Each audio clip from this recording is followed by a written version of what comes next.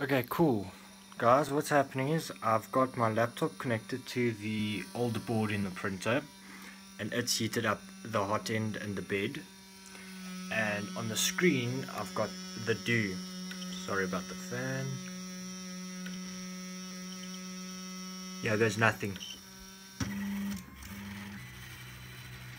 So now the Due doesn't have any heaters connected to it.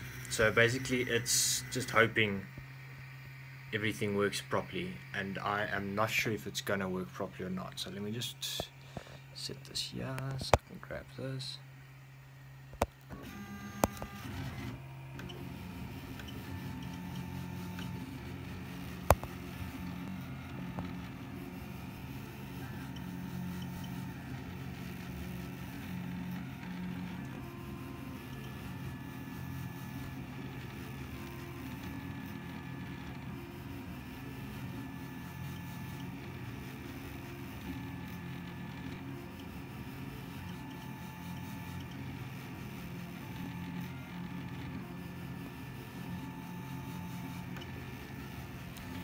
So basically, so the Due is printing, is only moving the motors and the extruder.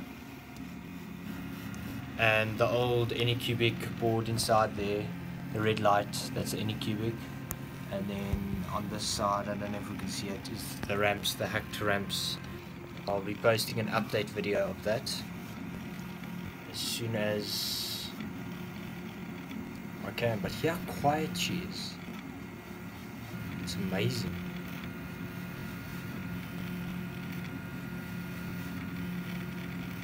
Let's see if I can set up my phone. Come on.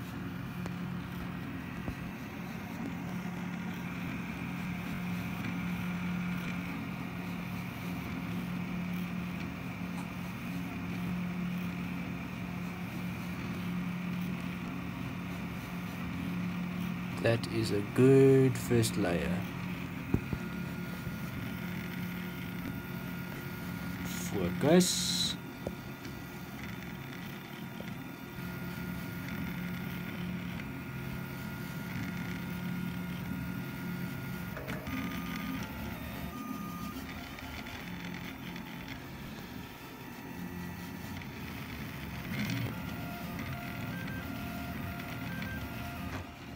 So, yeah.